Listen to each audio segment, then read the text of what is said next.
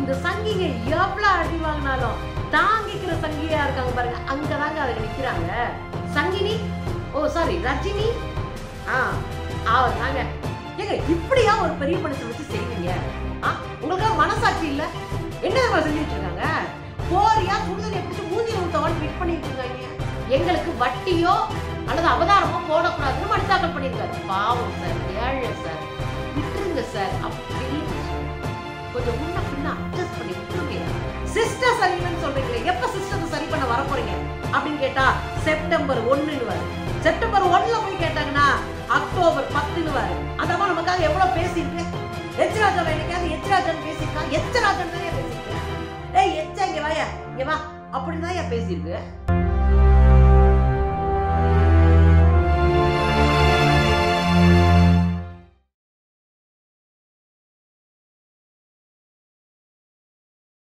மரணம் மாசு மரணம் டஃப்பு தரணும் அதுக்கு அவன்தான் பிறந்து வரணும்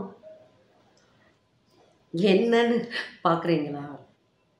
ஏங்க சங்கிகளை வச்சு செய்கிறதுல அப்படி என்ன உங்களுக்கு கொண்டாட்டம்? ம்? அது ஏதாவது ஒரு சங்கி வாலண்டியராக வந்து வண்டியில் ஏறிச்சுன்னு வச்சுக்கோங்க. அப்படியே கூட்டிகிட்டு போய் மூத்திரச்சந்து முட்டுச்சந்து உட்கார வச்சு சாத்து சாத்துன்னு சாத்திட்டு ஃபோனை போட்டு நண்பன் சொந்தக்காரன் உறவுக்காரன் ஊருக்காரன் எஃபி ஃப்ரெண்டு அத்தனை பேரையும் கூப்பிட்டு வாரத்துக்கும் வச்சு செய்கிறீங்க பாருங்க. அடடடடடா. நீங்கள்லாம் நல்லா இருங்க. ஆனால் என்ன தெரியுமா? இந்த சங்கிங்க எவ்வளோ அடி வாங்கினாலும் தாங்கிக்கிற சங்கியாக இருக்காங்க பாருங்க. அங்கே தாங்க அதுங்க நிற்கிறாங்க நமக்கு ஒரு பெருஞ்சங்கி ஒன்று இருக்கு. அதாங்க சங்கினி? ஓ சாரி ரஜினி? ஆ அவர் தாங்க என் வழி தனி வழி அப்படின்வாரு ஒரு தடவை நான் சொல்லிட்டா நூறு தடவை சொன்ன மாதிரி அப்படின்வாரு சரி சாமி நூறு தடவை சொல்கிறதெல்லாம் அங்கிட்டு இருக்கட்டும். ஆமாம் உங்கள் கொள்கையெல்லாம் என்னது? அப்படின்னு கேட்டிங்கன்னா கொள்கையா? கிருன்னு சுத்துதுன்னு பத்திரிகைக்காரங்கிட்ட ஆ அத அதெல்லாம் ஓகே சாமி. சிஸ்டர் சரியில்லைன்னு சொல்கிறீங்களே எப்போ சிஸ்டத்தை சரி பண்ண வரப்போகிறீங்க அப்படின்னு கேட்டால் செப்டம்பர் ஒன்றுன்னுவாரு செப்டம்பர் ஒன்றில் போய் கேட்டாங்கன்னா அக்டோபர் பத்துன்னுவாரு அக்டோபரில் கேட்டனா டிசம்பர் முப்பத்தி ஒன்றுன்னுவாரு ஆளுக்கு ஒரு டேட்டை சொல்லிட்டு மல்லாக்கப்படுத்துக்குவார். அவர் என்ன நினைக்கிறாருன்னா அரசியல் என்பது கேட்டை திறந்து பத்திரிகையாளர்கள்ட்ட நாலு வார்த்தை பேசிட்டு அப்புறம் வாரத்துக்கும் குத்துப்பட்டு வீட்டில் கிடக்கிறது நினச்சிக்கிறாரு. அரசியல் அது இல்லை அரசியல்னா அதான் மக்களுக்கு பிரச்சனை வரப்போகுதுன்னு தெரிஞ்சாலே களத்தில் நிற்கிறவன் தான் தலைவன். அவன் தான் அப்படி கெத்து காட்டி நிற்க முடியும். ஆமாம் நம்மளால் சிஸ்டம் சரியில்லைன்னுவார். ஆனால் இந்த சிஸ்டத்துக்குள்ள சரியில்லாதெல்லாம் இவர் தான் செய்வார். என்னவா? நாமெல்லாம் ஒரு இடத்துலேருந்து இன்னொரு இடத்துக்கு போகிறதுக்கு இ e பாஸ் கிடைக்காம எவ்வளோ கஷ்டப்பட்டோம்? நானும் என் ஃப்ரெண்டு ஒருத்தனை பார்க்குறதுக்கு போகணுங்க. அவசரமாக ஒரு சந்திக்கணும். ஒரு சின்ன உதவி கொடுக்க உதவி கேட்கணும். அதை கேட்கறதுக்கு என்னால் இ பாஸ் வாங்க முடியலங்க. இ பாஸ் கட் ஆகிட்டே இருக்கு. ஆனால் எங்கள் அண்ணாத்த ரசனிகாந்த் போட்டாருன்னு வச்சுக்கோங்க. உடம்பு சரியில்லைன்ட்டு அப்படியே ஒரு இ பாஸை பிக்கப் பண்ணிட்டு போனாருன்னா ஈசிஆரில் இருக்கிற பண்ணை தோட்டத்தில் போய் அப்படி குஜாலாக இருந்துட்டு வருவார். இதை ஒருத்தன் கண்டுபிடிச்சி எழுதின பிறகு போடுறாங்க நூறுரூபா அவதாரம். கட்ட முடியாமல் தவிச்சு சிக்கி சின்னாபனம் ஆயிட்டாரே கட்ட முடியலங்க பாவம். நுந்துட்டாரு. அப்புறம் என்கிட்ட கடனை உடனே வாங்கி அந்த நூறுரூவாயை கட்டி அப்படியே உட்காந்துருக்காரு இவர் சொல்கிறாரு சிஸ்டம் சரியில்லை அப்படின்னு. அதாவது பரவாயில்லைங்க. ஒரு போர்டு வச்சுட்டு ஒரு சங்கி உட்காந்துருக்கும் பாரு. அந்த சங்கியை பார்த்தாலே வாயிலே குத்தணும் போல இருக்கும். அந்த சங்கி சொல்ற சங்கி எது தெரியுமா? தமிழ்நாட்டில் யாருடைய ஆட்சி வரும் தெரியுமா? முதலமைச்சராக இந்த பெருஞ்சங்கி சங்கினி ரஜினி வந்தா ரொம்ப நல்லா இருக்கும் அப்படின்னு அது. ஒன்னியவே ஊரில் அடித்து உட்கார வைக்கணும்னு நினச்சிட்டு இருக்கோம். அதுக்கு உனக்கு ஒரு ஒத்துதுறதுக்கு ஒரு ஆளா? ஆ?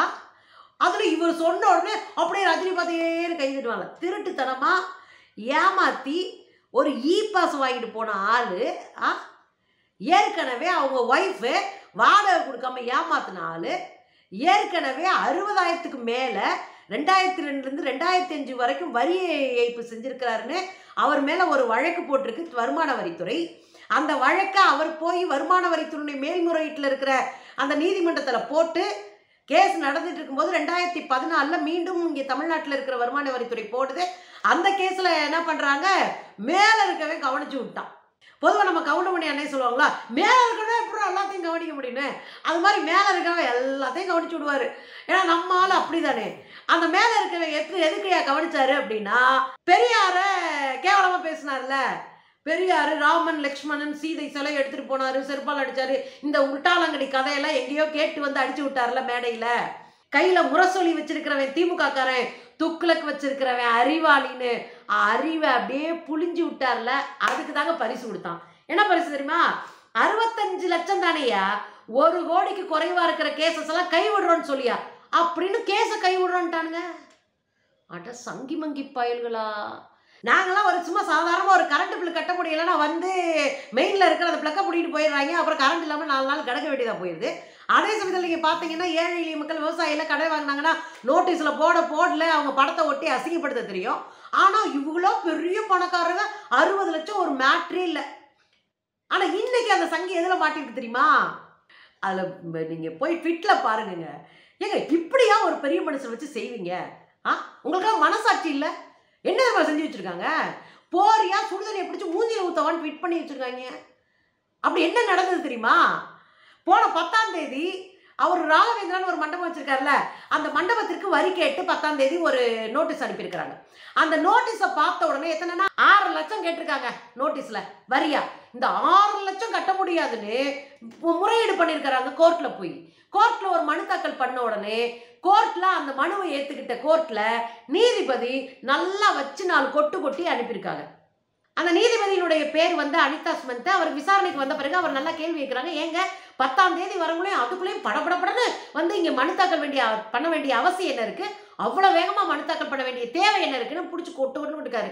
இந்த ரஜினி என்ன பண்ணியிருக்கிறாருன்னா எங்களுக்கு வருமானமே இல்லை இந்த ஆறு மாசமா வந்து மண்டபம் பூட்டி கிடக்கு வருமானம் இல்லை எங்களுக்கு வட்டியோ அல்லது அவதாரமோ போடக்கூடாதுன்னு மனு தாக்கல் பண்ணியிருக்காரு. பாவம் சார் ஏழை சார் விட்டுருங்க சார் அப்படின்ற மாதிரி ஐயா நின்றுருக்காரு. ஆனால் நீங்கள் பார்த்தீங்கன்னா அவன் கோர்ட்டில் வச்சு ஒழுங்காக ஓடி போயிரு கேஸை வாபஸ் வாங்கி போகலன்னு வச்சுக்கோ அவ- போட்டுருவேன்னு சொல்லிட்டாங்க. அதில் நொந்து நூடுல்ஸ் ஆகி சரியுமா நாங்கள் வந்து அவ கேஸை வாபஸ் வாங்கிக்கிறோம் அப்படின்னு சொல்லி சங்கி மங்கி வாபஸ் வாங்கியிருக்குன்னு வச்சுக்கோவே இதை ட்ரெண்ட் பண்ணுறாங்கங்க இன்னைக்கு உட்காந்துட்டு ஃபேஸ்புக்கில் ஒரு பக்கம் இதில் ஒரு பக்கம் அதில் வர டிஷர்ட்டை போட்டு நிற்கிறாரு வரி கட்ட முடியாது போடா அப்படின்னு ஒரு டிஷர்ட்டு டேய் இந்தி இப்போ இந்தி வேண்டாம் போடான்னு நம்ம ஆரம்பித்தது அவங்க வந்து அதை வேற ஹிந்தி படிப்போம் ஆமாடான்னு அவங்க போட்டாங்க. அதுக்கப்புறம் அது அப்படியே ட்ரெண்ட் ஆகிட்டே வந்தது. சாதி வேண்டாம் போடான்னு அடுத்து அது ட்ரெண்ட் ஆனது. இன்னைக்கு வரி கட்ட மாட்டேன் போடா அப்படின்னு ரஜினியை வச்சு ட்ரெண்ட் பண்ணிட்டு இருக்கிறாங்க பாவையா பெரிய மனுஷையா கொஞ்சம் உன்ன பின்ன அட்ஜஸ்ட் பண்ணி விட்டுருங்கய்யா ஏன் அப்படி வச்சு செய்கிறீங்க நேற்று என்னடானா எங்கள் அக்கா குஷ்புவை வச்சு அந்த அடி அடிக்கிறீங்க? ஆ? அந்த அம்மா நமக்காக எவ்வளோ பேசியிருக்கு? எச்ராஜாவை என்னைக்காவது எச்ராஜன் பேசியிருக்கா? எச்சராஜன் தானே பேசியிருக்கு.